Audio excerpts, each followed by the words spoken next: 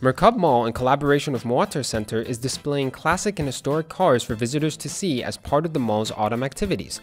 The exhibition runs until October 15th during Mirqab Mall's opening hours, so be sure to check it out.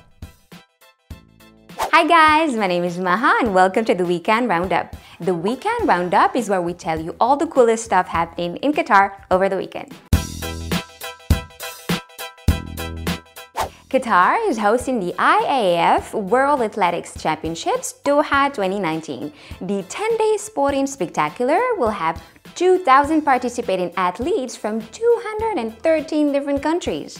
Spectators will also get to enjoy entertainment and different cuisines every day. IAAF is happening from the 27th of September to the 6th of October from 4 p.m to midnight at Khalifa International Stadium. Be sure to get your tickets on the link below. This week is all about the IAAF World Athletics Championships. Bring your kids aged from 4 to 14 to the center court on the first floor of Doha Festival City to explore their limits at Mini World Athletics Championship Doha 2019.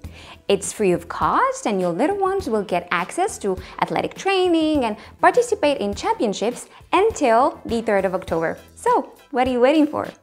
The Holy Kaaba is the most sacred site of Islam. The Qatar National Library is holding an exhibition of 50 carefully selected items that offer insights into the history of the Kaaba and its religious and spiritual significance.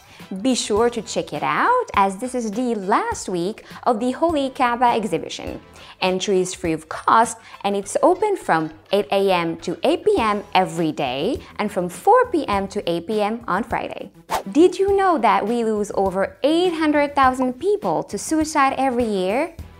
As a month of suicide awareness, Qatar Mental Health Awareness Community is having a live session on their Instagram and Facebook pages discussing causes, signs, and self-care strategies for suicide prevention. Their social handles are QMHAC on Instagram and Facebook. So do not forget to log in this Thursday, 26th of September at 6.30 p.m. Let's get wild at the Ezdan Zoo. Hop on over to Ezdan Mall Little Animal Zoo and experience adventurous safari tours until the 4th of October.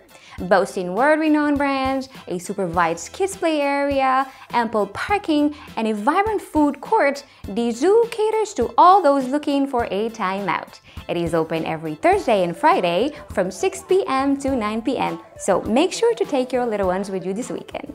Our last event is for people who love exhibitions. Be sure to check out the Qatar India 2019 Year of Culture exhibition at Gallery 1, Katara Building 18. The exhibition is held in cooperation with the Youth Hobby Center until the 28th of September from 10 a.m. to 10 p.m. The entry is free of cost, so make sure to check it out this weekend. So I guess that's it guys for today's episode of the Weekend Roundup. If you enjoyed it, do not forget to like, share, and subscribe. And if you guys want to know more about the fun events in Qatar before they happen, download the Qatar Events app and you will never miss another event again. Available on Android and iOS, the app is completely for free and easy to use. Also, do not forget to subscribe to our newsletter and be up to date with what's happening in and around Qatar. For more details, visit our website, iloveqatar.net. Happy weekend everybody and salam!